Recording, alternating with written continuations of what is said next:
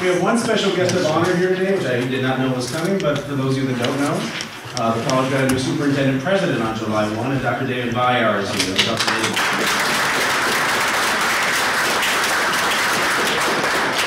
Still learning the lay of the land. He's going to see the science lecture series and sort of see what that's about, and that's great. Um, I don't know too much about this talk. Uh, I have Dr. Shelley Ty to tell you a lot more about the subject and the wonderful students who did this research over the summer. These are regular, average-looking, Glendale College I look like one of them too, right? maybe slightly more than average. Uh, but they did actual original research. It's maybe published in a journal and everything, and they're not even at a four-year college. This is fantastic. I'm very impressed by these folks. So I'm going to tell you what they did, and I'll have uh, Dr. Tyre sort of tell us more about it. Go right ahead. So um, what I'm going to do is I'm going to give you a little bit of story about how this project got started, because I didn't do it on my own. Um, so it involves my really good friend, Dr. Michelle Lum. Um, so we knew each other since uh, graduate school. So that's me. She is really tall. She's about five, five ten, and I'm kind of like five one. So that's about right. So we knew each other since graduate school. We both went to graduate school at UCLA. Um, when she, we graduated, she continued on to do research and go into education. So she's now um, just made it to associate professor. So she got a rank associate professor at LMU, and uh, I'm here at Glendale. I love this place. It's great. Gave me lots of opportunity, and I have worked with a great number of people. Um, and so I've always been interested in research, but I just never did really want my own lab and go through all that hassle of having to deal with finding grants and you know supporting students. And uh, so one day Michelle was, you know, we were talking, and Michelle called me, and she's like, "Oh, you know, I'm writing a grant, um, and I want to be involved a component that involves undergraduate students." Uh, working with research and, go, and she asked me, you know, would you be interested in uh, in writing this grant with me? And I said, definitely, for sure, you know, because this is what I want to do, as long as I don't have too much of a responsibility of writing the entire grant. Um, so she wrote the grant, but unfortunately, um, it wasn't accepted, and it wasn't approved, and so we kind of like let it, you know, hang out, uh, kind of fall through a bit because she's busy with her responsibilities, and I'm busy with my teaching load and all the LLOs and PLOs and SLOs. uh, and so, and, and so we kind of like, you know, kind of waited. And then I heard from my, um, um, my colleagues that there's a Title V grant, um, that the college had acquired. And, uh, they're interested in, you know, funding projects like research projects that involve undergraduates. And so I applied for it and great, we got it. And thank, uh, um, and, you know, I'd like to thank Dr. Um, uh, Kathy Durham and Tom for, you know, uh, reading through the proposal and, um, you know, uh, realizing that um, the benefits that it have for our students. Okay, and so that came about the research project. Now I'm not going to talk to you about too much with regards to the research project because that's their job right now. Um, what I want to tell you is that um, the research project took place over the summer, just this recent summer, and about uh, just a couple months ago, um, and it was about uh, six six weeks of intense work. Um, they're in class from nine to about uh, nine to two, guys. Technically. 10, 10 to 2, actually 10 to 2, 10 to 2, technically it's supposed to be 10 to 2, but they come uh, 9 o'clock sometimes um, and stay until sometimes 6 or 7 o'clock. So they're really dedicated group of individuals. And what did they learn? Um, they learn how to make media. So a lot of the times when we go to a class in the lab, uh, the media is already pre-made. Now you could go in and you do experiment. Here they have to figure out how to make the media, the solutions themselves. So they have to, you know, this is like, for example, one recipe of a solution that, of, of, a medium that they need to make. And to, this is a recipe to make one liter. Oh, what's so difficult about that?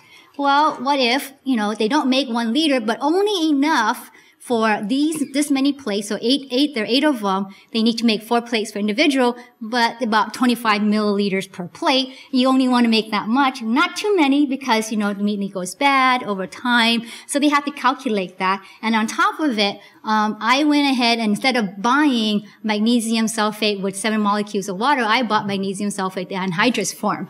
And so now they have to figure it out how to recalculate it because the molecular weight is kind of different. So it involves a little chemistry. So the first time they did this, how was it, guys? The first time?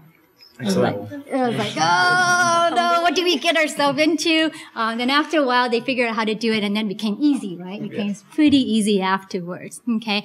Um, in addition to that, um, they learned how to use new equipment. Um, I refuse to teach them that because it's like you know, I want to simulate a real lab. So I tell them open the manual, put it together, and read through it, and figure out how to how to use the equipment. Okay. Um, so there's a lot of teamwork. There's a lot of molecular work, bench work. There's also uh, microbiology biology bench work. Um, and then there's also bioinformatics towards the end. So they learned quite a bit within this short period of time.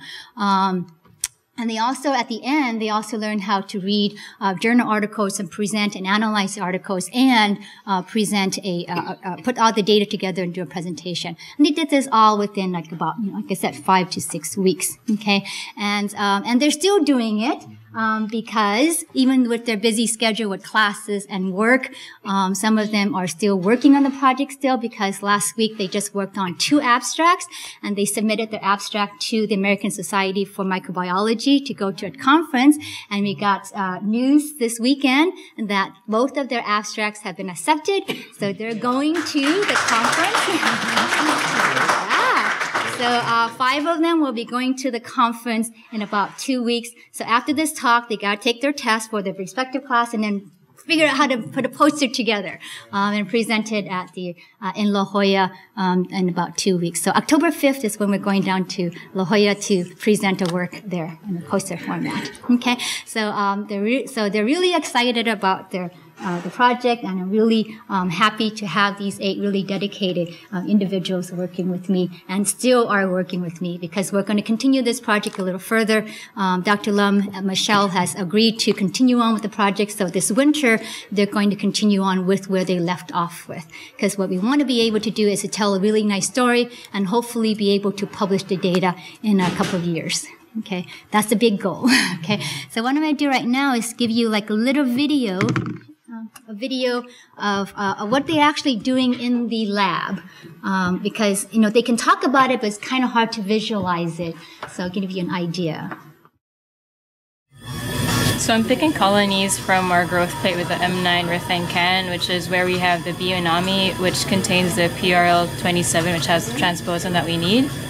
Um, so we're picking up individual colonies and um, first um, i'm streaking colonies into the YMA for the EPS screen, and then we're poking that same toothpick um, into the TY for the motility assay. Which one is the TY and which one is the YMA? So I have a mark here streaking for the YMA, which is this plate, and then we are poking um, into the TY, which is on this plate. So I have those signs to remind me. The YMA plate for? The YMA plate is to screen the EPS um, mutants, and the TY plate is to screen for um, motility mutants. So I'm just gonna pick one colony. here.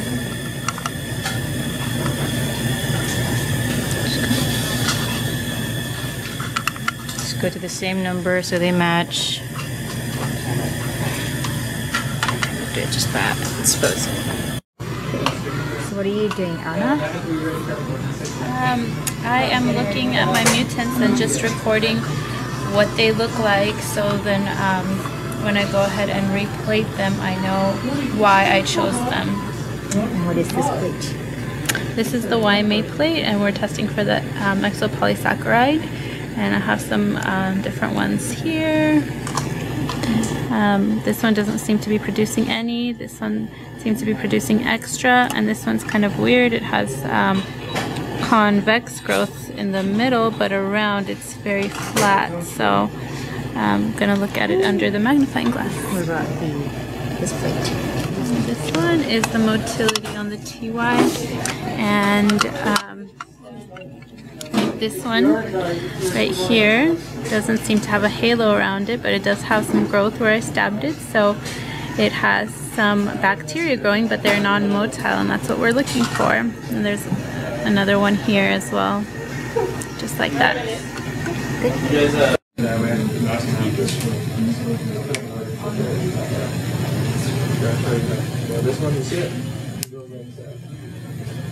It. Yeah, so it's being pushed to Yeah. Here. Put it this way. Why not go for seven five with raised?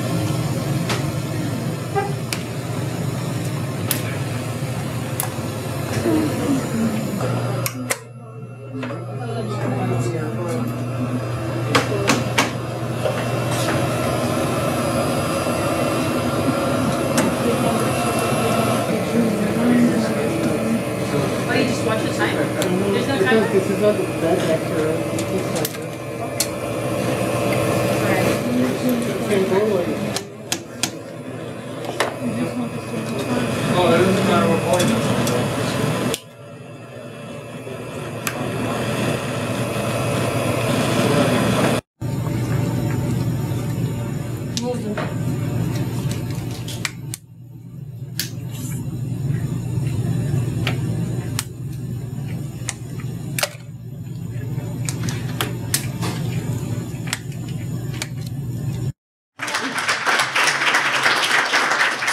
without further ado, I want to introduce you to the eight students who are uh, who worked with me during the summer and presenting you today. Um, so Janine, this is Janine. She's our last addition, by the way, and you guys uh, they were really happy to have her because she did a lot of work for us. Okay, and then Danny. Allison. Uh, Chris. Zorik. Draw. So we'll let them take over now. I would like to first thank everyone for coming down this afternoon to spend time with us, whether it's for bonus points or whether you thought that the talk could be interesting or whether you just have nothing better to do during a lunch hour. Thank you. And hopefully, um, by the end of this talk, you'll understand what it is, um, that we did over the summer. Um, we actually did a research, um, to discover genes involved in the motility and attachment of Burkholderia unami bacteria. Right now, I know it sounds like a mouthful. Hopefully, with each of us talking um, in front of you right now, um, it'll become clear as we go on. So let's start um, with talking about what Burkholderia is. Burkholderia species actually consists of about 50 or more species, um, just as of 2012.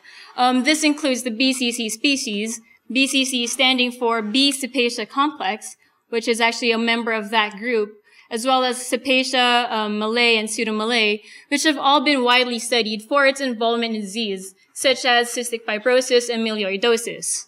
Um, for a very long time, the only Burkholderia species that was known to have um, plant growth promoting properties was B. vietnamensis. And if you look at the phylogenetic tree, the problem is that B. vietnamensis is very closely related to the pathogenic BCC species right here. However, in the past decade, B. vietnamensis was isolated in the root of tomato, root, um, tomato and um, rice and maize as well. Right here, um, along together with that was some other members of the BCC complex, Cepacia, Cenocepacia right here. Those again are the pathogenic BCC species. But in addition to those species was a novel group of Burkholderia species, which is um, listed up here they appear to have plant associations that are either beneficial or neutral. Um, some of them are nitrogen fixing, some of them are legume nodulating. So those are good things because they can promote plant growth in plants. One of them is B. right there.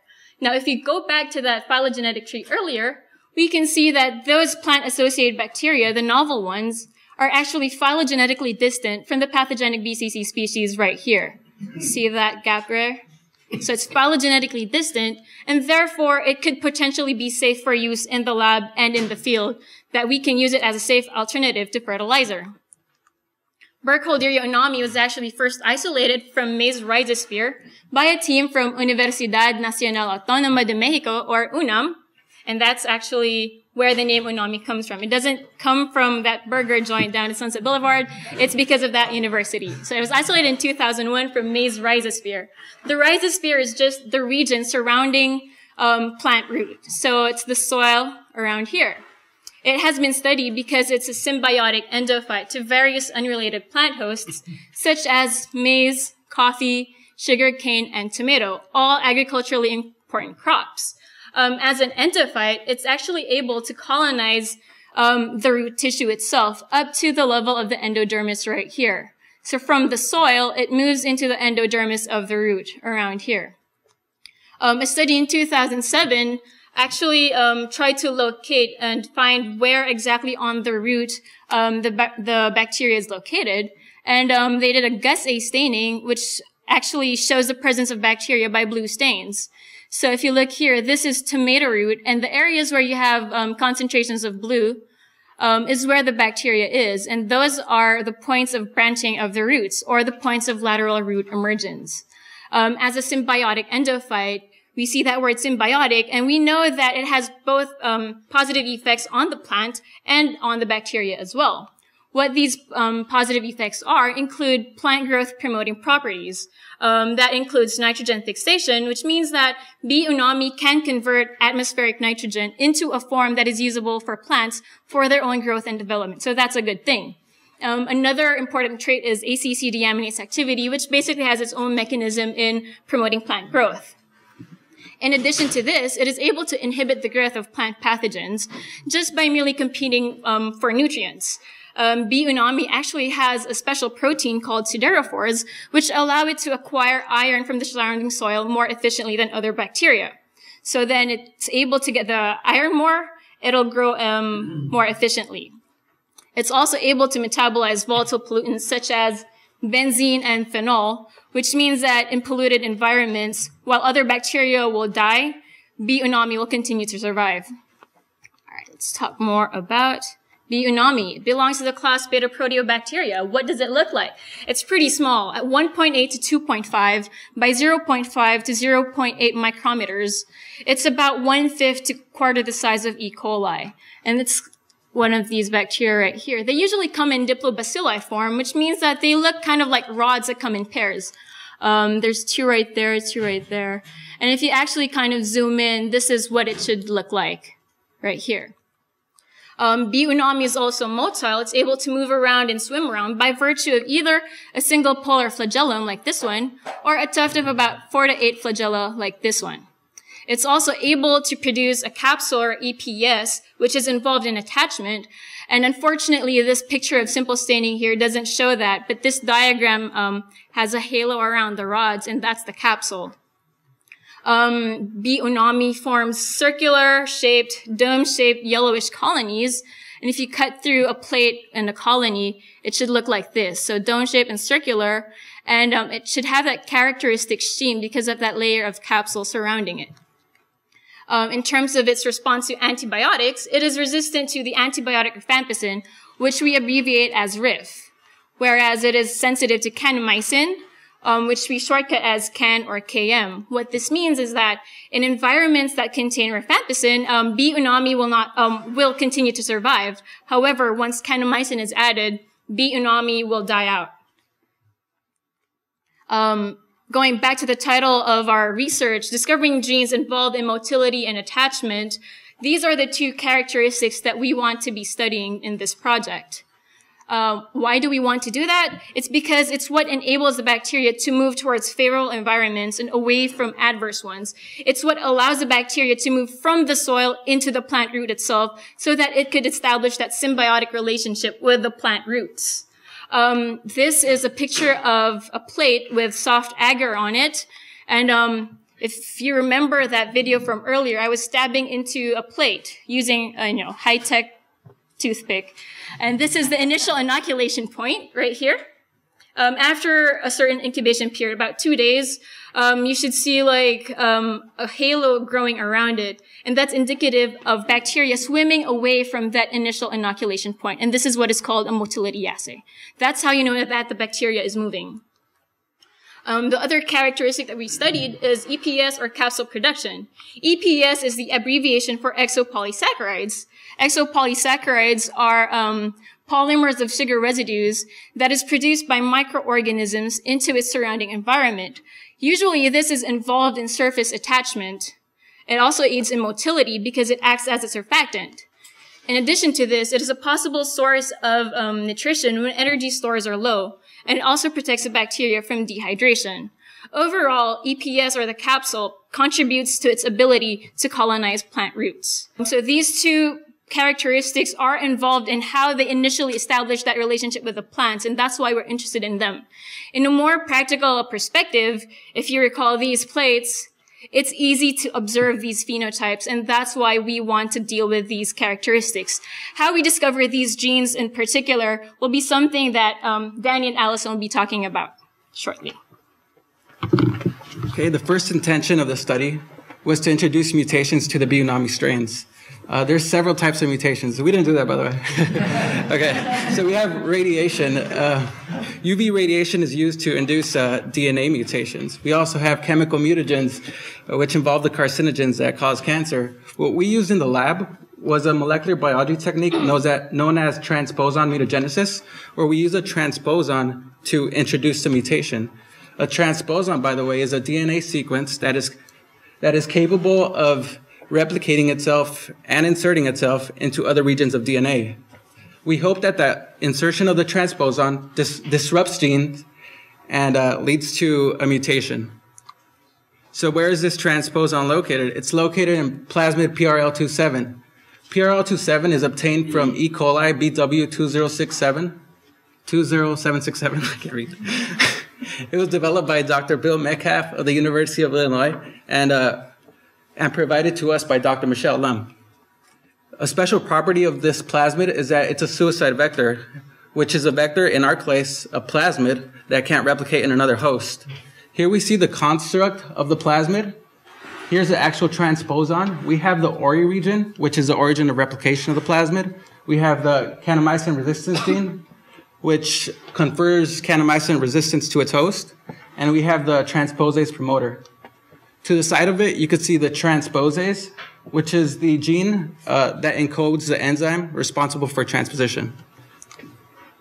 Now, how do we get the plasmid from the E. coli species to the Bionami, from the E. coli organism to the Bionami organism? We do this through conjugation. Before I go on, I just want to mention that the Bionami we used throughout the project was provided to us by Dr. Jesus Caballero Mellado of UNAM and, and also provided to us by Dr. Michelle Lum. So here's an illustration of conjugation. Uh, in order for conjugation to occur, we need a, a donor host, which is E. coli in our case, uh, and a recipient host, which is Bionami. The E. coli initially contains the host chromosome and the plasmid. The Bionami only includes the host chromosome initially. So during conjugation, the plasmid transfers from the E. coli to the Bionami host uh, through the conjugation bridge. And after conjugation, we hope that the transfer of the transposon located in the plasmid causes a disruption of the gene and hopefully a mutation.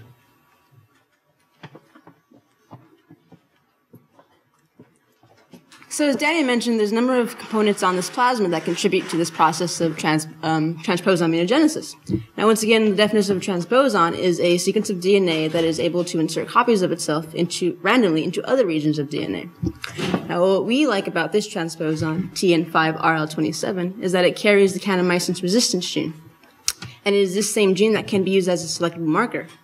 Meaning that when, after conjugation, when we plate this bacteria onto onto medium containing kanamycin, only the colonies containing the plasmid and thus the transposon will be able to grow. What we also like is that the origin of replication is in the transposon. So when the transposon inserts itself elsewhere, the origin of um, the origin of replication is obviously on it, and what's left of the plasmid is unable to replicate. This, in addition to the fact that the plasmid is unable to replicate in an organism other than the engineered E. coli, make it a suicide vector.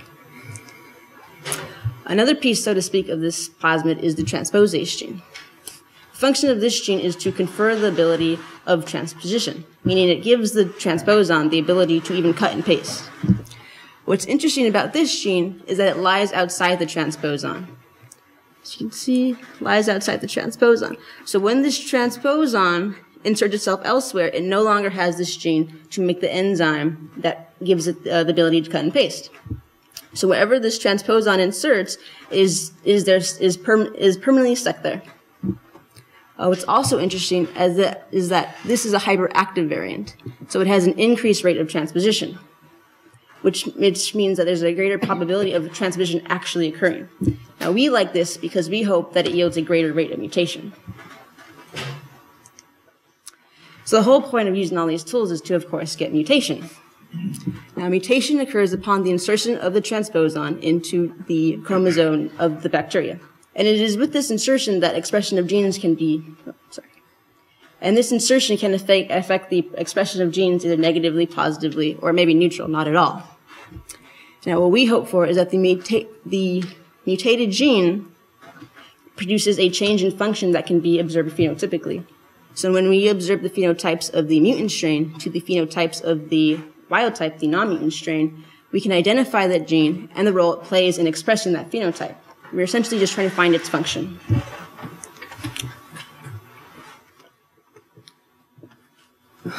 Uh, so the first steps in our actual procedures is conjugation, uh, where we'll be trying to take this plasmid from E. coli and insert it into our Burkhold area. And the transposon on this plasmid will be um, hopefully disrupting genes responsible for EPS and motility. Um, so in conjugation, uh, we have our tryptone yeast agar plate, which we'll be calling our mating plate, and our E. coli and our Burkholderia. Uh, so to start, we just streak our Burkholderia on the plate, and right on top of it, we streak our E. coli. Um, and then we mix it around to try to get as much one-to-one bacterial contact as possible, and we'll incubate the plate at um, 30 degrees Celsius for about two days. Um, so now, what we hope to have uh, um, accomplished during incubation is this. Uh, so here we have our Burkholderia with its main piece of DNA or its chromosome, and the E. coli with its chromosome, and the plasmid we're working with. Um, so the plasmid will replicate and um, become um, transfer along a mating bridge produced by the E. coli, and um, at the end, we'll, we hope to have a replicated plasmid in our Burkholderia. Um, so now we'll be looking at what happens once the plasmid has been successfully transferred into our Burkholderia. Uh, so here we have our organism, its, its chromosome, and the plasmid. And this orange line is meant to represent a small piece of the chromosome, because this chromosome is about 8 million base pairs in length, while the plasmid is only about 4,000. Uh, so here on the plasmid, we have our kanamycin resistance gene and the transposase gene, which codes for these two enzymes that will do the cutting and the pasting of the transposon. Um, and the transposon can insert itself in the chromosome at any random spot, but we hope to have it insert itself in our genes of interest, genes responsible for motility and EPS expression. And once this has happened, once our genes of interest are disrupted, we'll have a change in phenotype, which we can observe in lab. Um, so a successful transfer of the plasmid and transposition of the transposon is all we um, hope to accomplish during our incubation. Um, and after incubation, we'll um, spread our bacterial solution on an M9 minimal media kanamycin and rifampicin plate.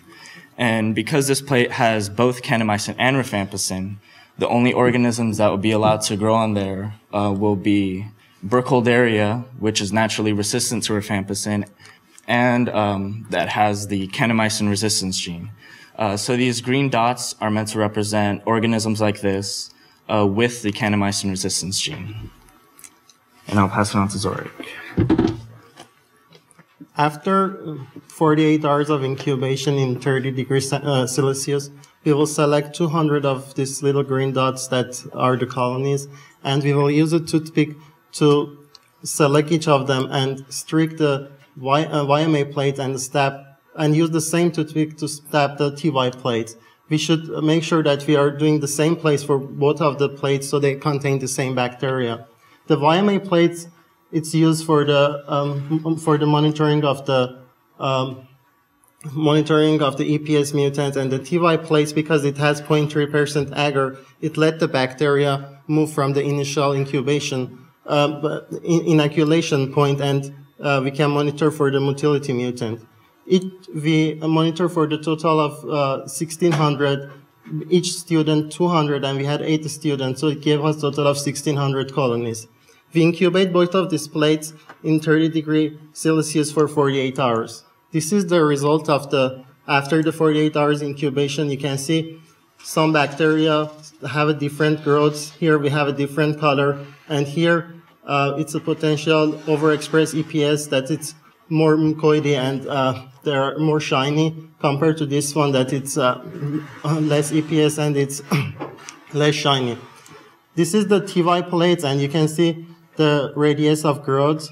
Here there is uh, more growth from the initial in inoculation point, and here there is less growth, and we can monitor for our motility mutant. To make sure we have the Burkholderia unami and not other contaminant, we did the simple staining. Here is the um, unami. You can see the, uh, the shape and size here. We have a diplobacilli. We have a single bacilla here. Compared to the E. coli, they are much smaller and uh, they are shorter. We also did a hanging drop assay in order to confirm our uh, motility mutants. We mix the um, bacteria with the drop of water and we watch it under the microscope. Here uh, you can see the demonstration. You can see here the small dots that are moving like crazy. They are the bacteria. And if there is less movement or no movement, we can know that there are motility mutant and somehow the gene has been interrupted and the bacteria can't move anymore. After that process, we, uh, after the process of simple staining and uh, hanging drop assay, we did the, um, we streaked the bacteria in a YMA plate in order to obtain the pure culture of the Burkholderia unami and make sure again that we don't have any contamination. You can see here the result after 48 hours of incubation and the small dots that they present the single colonies is used for our purpose. Also, in order to compare the wild type with our mutants, we place them on the um, YMA plates, uh, and you can see here they're the wild type, and here are overexpressed mutants. They're more mucoidy, they're more shiny, and here you can see they're less shiny, and here is the less EPS, and they're less shinier than the wild type, and they're less mucoidy. And this can um, give us the give us the uh, sure, uh, sureness that there are mutants. Also, we use the TY plate uh, to compare the wild type with our motility mutants. And here you can see again, the radius of the growths are less than the wild type. And we can confirm that there are, our potential mutants are really motility mutants. So after plating for, uh, plating for confirmation and confirming that we do indeed have mutants, like these here, we take four to five colonies off these plates here that we got pure cultures from. We're going to use a kit on it called the GeneJet Genomic DNA Isolation Kit. And this kit allows us to break down the cell wall, the cell membrane, and to lyse the cell to allow us to gain access to the genomic DNA uh, and which will allow us to gain access to the disrupted gene that we want. So after using this kit, we should be left with just the genomic DNA of our mutant. To make sure that we did indeed isolate the genomic DNA, we ran a small sample on an agarose gel using gel electrophoresis. And you can see here on the left is the DNA ladder that we used. And this is designed with specific lengths of fragments in mind that allows us to use it as markers. And so at the top, you can see here 20,000 base pairs, and at the very bottom is 500 base pairs. And it's like this because smaller base pairs uh, move slow, uh, move faster through the uh, gel than larger ones. And on the right-hand side, this is our, uh, what is supposed to be our G, uh, Bioname genome. And we know that because we can see a solid band here, uh, telling us that it has not been cut or uh, disrupted in any way. It's a single chromosome. Um, and so after we know that we have our genomic DNA, we need to digest it with an enzyme. The enzyme we use is a SAC2, en- uh, SAC2 restriction enzyme. And all this is is a six cutter enzyme that recognizes this specific six base pair uh, restriction site here. And it will cut here and here. And looking at this small illustration at the bottom here, the green line here is supposed to represent the chromosome of the mutant. The red triangle is the transposon where it inserted into the chromosome. And the yellow lines here are supposed to represent uh, all the restriction sites in the uh, chromosome that that SAC2 is going to cut. Now, knowing that we have a 8 million base pair band here, cutting it into about 2,000 fragments is going to give us a smear on our gel on the left-hand side instead of a single band. And we can look at the uh, ladder on the right-hand side for comparison.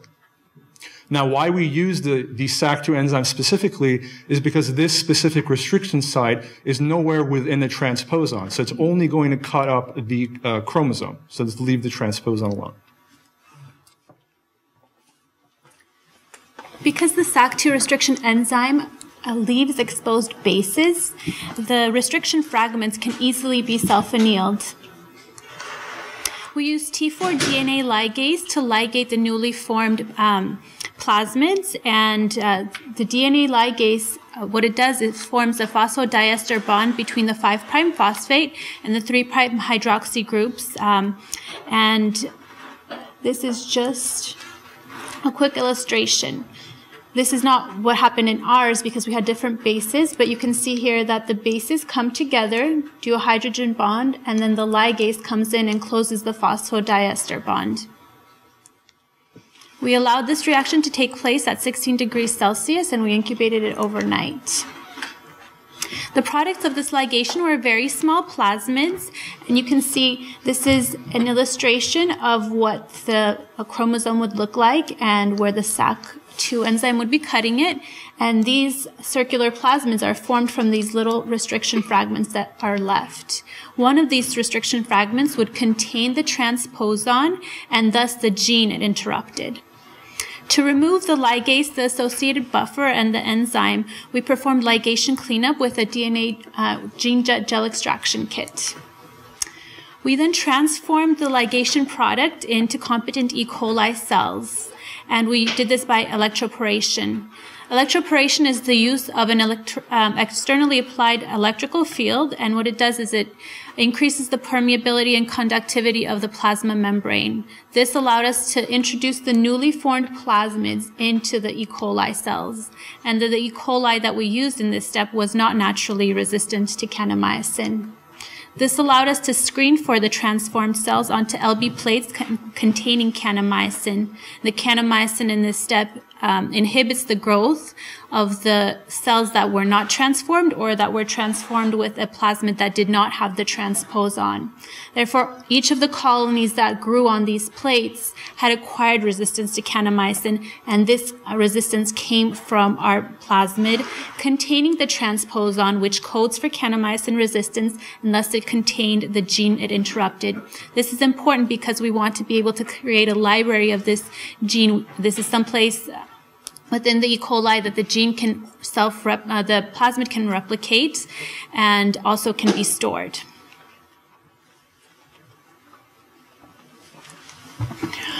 Next, we isolate plasmid DNA from transformed E. coli and prepare samples for sequencing. The GeneJet plasmid mini prep kit was used. A single E. coli colonies were mixed and suspended in lysis solution. Cell wall lysed, releasing plasmid DNA. Circular plasmid becomes straight after being digested by SAC2 enzyme. In order to confirm presence of uh, plasmid DNA in a sample, we run it on gel electrophoresis and compare results with DNA, ladder, and undigested samples. And purpose of gel electrophoresis here to discard empty samples and leave only samples with digested DNA. Also, we add primers to our sample. Primer number 13 attached to transposon and allow sequencing in this direction and primer number 17 attached to, some, to transposon and allow sequencing in this direction. We send samples to Eurofin Operon to sequence DNA and identification of disrupted gene. Also, we use EMGR public, uh, publicly available nucleotide sequences database to identify disrupted gene. Because we use this uh, uh, database first because they have DNA sequences of Burgholderia unami, and next we use I, uh, NCBI BLAST database to identify gene product name. So to get the results that we're going to show you today, we had to go through a number of steps to get there. Um, we initially screened through, screened through 1,600 colonies, and of those 1,600 colonies, only 125 were potential mutants, meaning only 125 showed the phenotypes that we were looking for. Either over EPS producers, no EPS production, non-motility, or over, over motility. Of these 125, uh, we chose 40 to confirm the phenotype of, meaning that we wanted to make sure that what we thought was a mutant was actually a mutant. Uh, so of these 40, 40 were sent for sequencing, and of these four, um, 14% for sequencing. And of these 14, three were over EPS producers, four were non-motel mutants, six were both non-motel and over EPS producers, and one is a cellular division mutant. Now, of course, we can't go through all 14, but I will go over the, a few. So, like I said, six were non-motile and EPS producers, one of which was my own that I uh, own mutant that I isolated, mutant D15A. And after blast analysis and gene mapping, I found that the transposon inserted itself at this location in the in B Unami's chromosome, a location where the FLHD gene sits.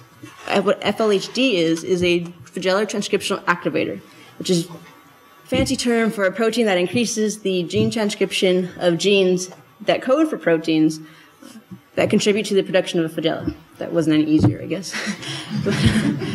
um, uh, and it is this same gene that is actually the complement gene to the FLHC gene. FLHC gene being FLHC gene being the gene that uh, our project collaborator, Dr. Michelle Lum, is also working on, and which a gene that I also hope to work on this winter. The way FLHD gene works is in an operon, as you can see in this neighborhood. A neighborhood just being the a visual of the known genes that are of the known genes that are near my the FLHD gene in the B Unami chromosome. In an operon with the FLHC gene, the, uh, the red being the the red arrow being the FLHD and the white being the FLHC. Now, together these are transcribed and translated and create proteins which form a dimer that act as a transcriptional factor, which means they bind to the promoter and allow for genes that code for proteins that contribute to the production of a flagella to be transcribed. So, I, so one can hypothesize that if this gene is interrupted, the proper transcription and translation of this operon is, doesn't occur and the dimer doesn't form and transcription of subsequent genes does not happen, does not occur. Phenotypically, this makes sense because the pheno, like I said, the phenotype observed was non-motility. Hmm. As you can see, unlike the wild type, there is no swimming away from the inoculation point. Now, what's also interesting is that this this mutant produced overproduced EPS.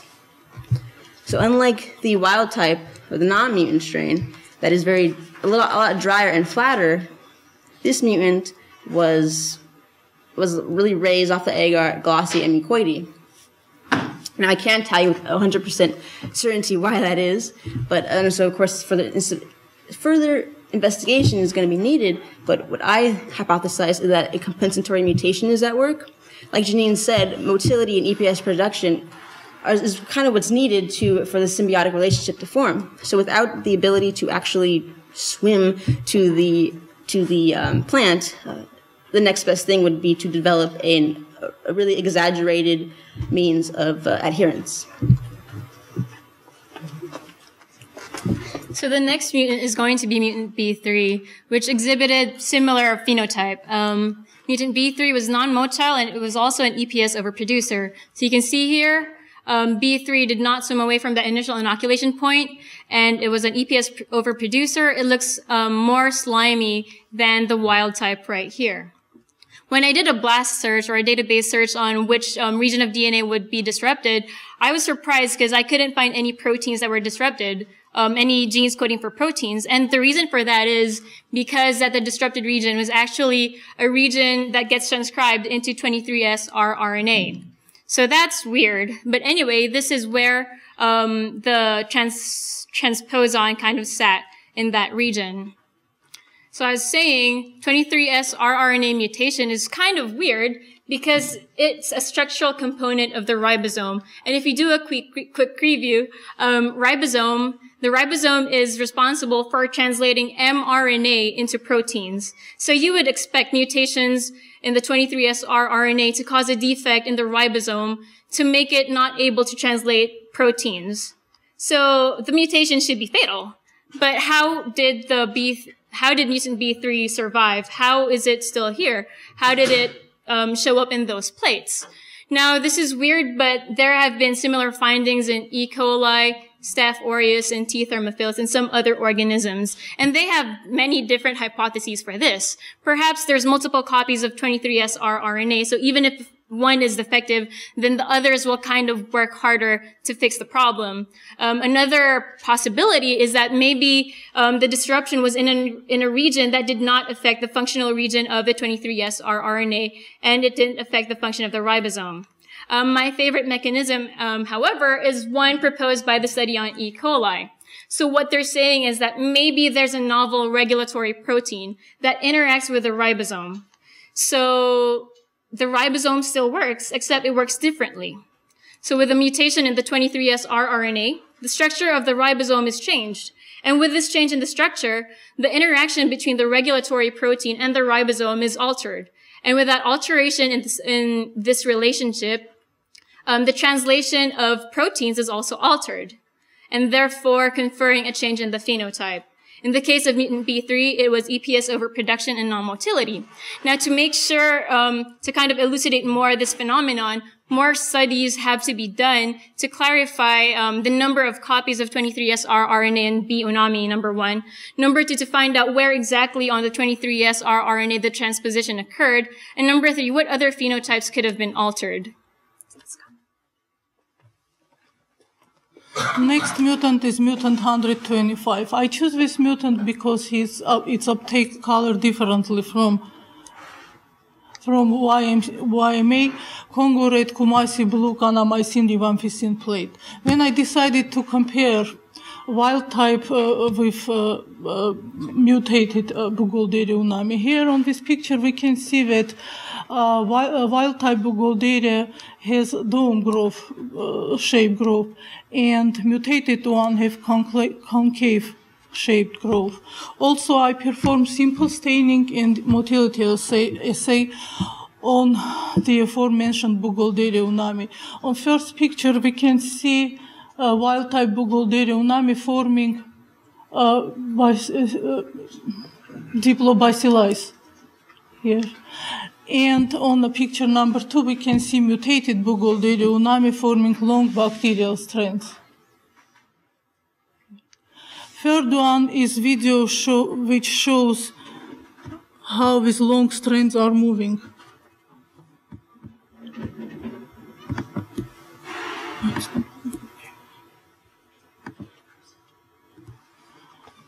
Here we can see long strands moving around other different places.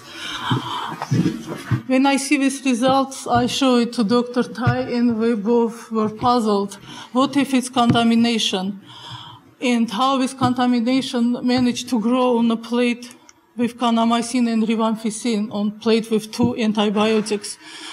Or maybe it's mutated Burgholderia unami and it shows different, different phenotype like with long uh, chains. And I was facing really hard decision, keep working with contamination and end up with no result at all to the end of research. Or uh, I will have really cool result if it's mutated Burgholderia unami. and, and I couldn't wait until my sequences, mutated genomic sequences came back. I aligned them against IMG, ER, publicly available the sequences, uh, database sequences, and I noticed that actually my transposon, transposon uh, disrupted uncharacterized protein concerned in bacteria, meaning that nobody identified this gene before. And I also use NCBI BLAST, and I find that in another uh, uh, uh, in another bacteria like Burgholderia gluma, it's already identified, and it's gene MRA-Z, which is which responsible for cell, division protein. I also map neighborhooding region, and I noticed that next gene to uh, MRA-Z is gene MRA-W, which involve in cell uh, wall biogenesis, and next one is next to it uh, gene for cell division protein. I did some research and I find that in many other bacteria such as E. coli, Bacillus subtilis, uh, these two genes, MRA-Z and MRA-W, along with other 16 genes form uh, operon, which is responsible for cell division and cell wall metabolism. And it explains actually why here cells fall to separate and form these long bacterial chains.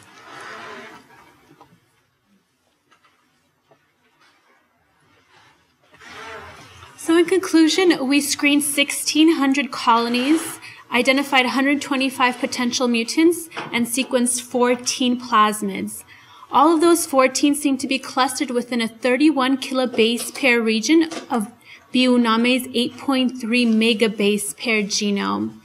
And even further, the double mutants were clustered with it, even within this region in the top, if you see right here. So while answering a lot of our initial questions, our studies expose more questions that we want to ask. First of all, what are the implications of these mutant phenotypes? Is the is the change in motility and exopolysaccharide production going to change the way that Burkholderia unami can colonize plant tissue? Is it going to help it? Is it going to hinder it? And is it still going to be able to carry out its plant uh, growth promoting properties that it has? Further, do these affected genes have other implications on the phenotype of Burkholderia unami, just as um, we had about the ribosomal RNA? Is that is the change in the ribo- the shape of the ribosome? Is that going to have other phenotypic effects for that mutant? Also, there's other interrupted genes that their function has not yet been annotated, such as Allison's um, that uh, Dr. Lum is doing the complementation studies for right now. We would like to do further studies with these and hopefully be able to um, annotate annotate the genome fully. And what Dr. Lum is doing right now is a complementation study, which is we're taking she's taking the mutant that um, that this gene is just disrupted and replacing it with the intact copy of the gene.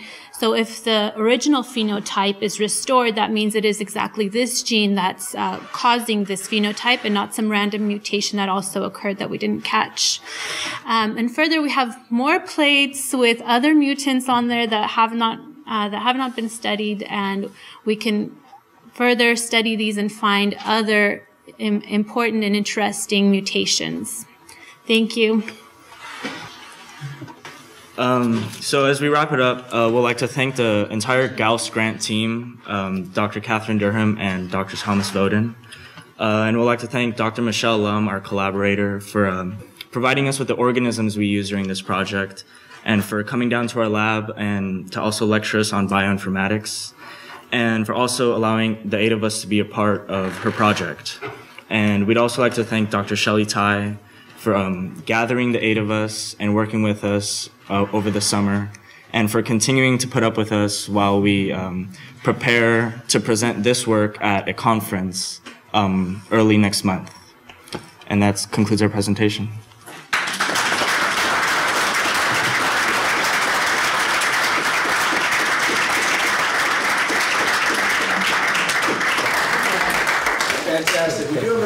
coming in at 140, but we're going to have five, six, seven minutes here for some questions. Any questions for our students or for Dr. Ty?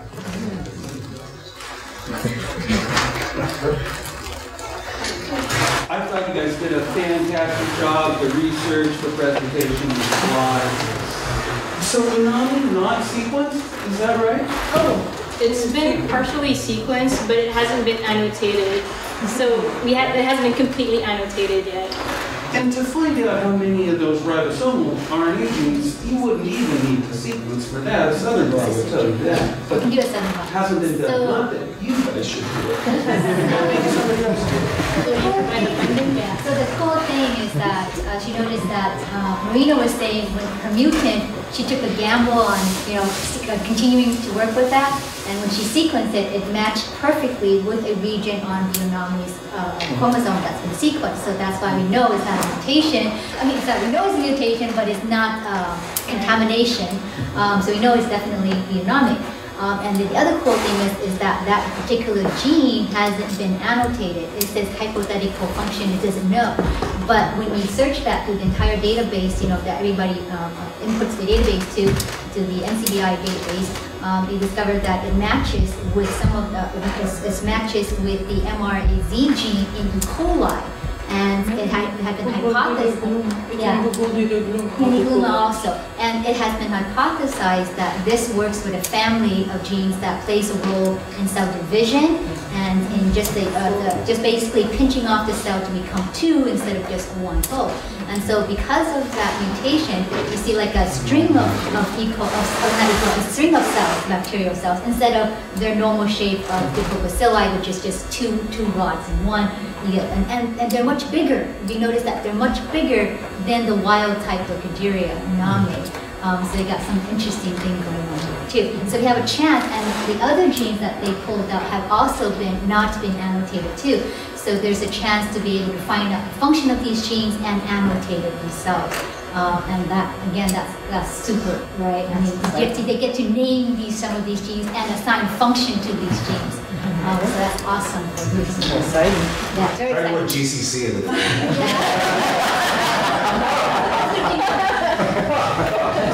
Other questions? This is just initial work, just initial discovery work. They have to do more to find out the actual, more functions. Any other questions? Is this class going to be offered in the future? Uh, winter, uh, great for advertisement. So uh, planning to do winter, um, to offer during winter, um, especially for these continuing um, to continue with the project. So uh, some of the questions are, you know, do these mutants um, affect the ability to colonize the plants, right? Um, and do they, you know, are they going to lack or increase the ability to um, to promote plant growth? Um, and so, and um, uh, Allison didn't mention it, but uh, her the mutant that she's working on with is the, is the uh, FLH mutant. Um, Dr. Lum has the FLHC, and these two genes work together in operon. And so, so Dr. Lum shows that, uh, Michelle showed that the FLHC mutant um, has no flagellum. So the atomic force microscopy doesn't show that it has a flagellum at all. And so we'd like to see if the same thing is occurring with the FLH mutants, if we do that type of, of experiment in the future to see. So there's lots of things to do to, uh, to determine the functionality of these genes. And this is just the initial discovery. And so winter, we're probably doing those type of experiments in winter. And then in spring, it'll be open to uh, new students coming in to, to, uh, to either continue on with some of the genes, the mutants that they discovered, or to start new those. But, but I also want to stress that all of these techniques that they've done in the classroom, they haven't done in a in a regular classroom. So this is all new techniques. And all in six weeks. Yes, good job. Six weeks, six weeks.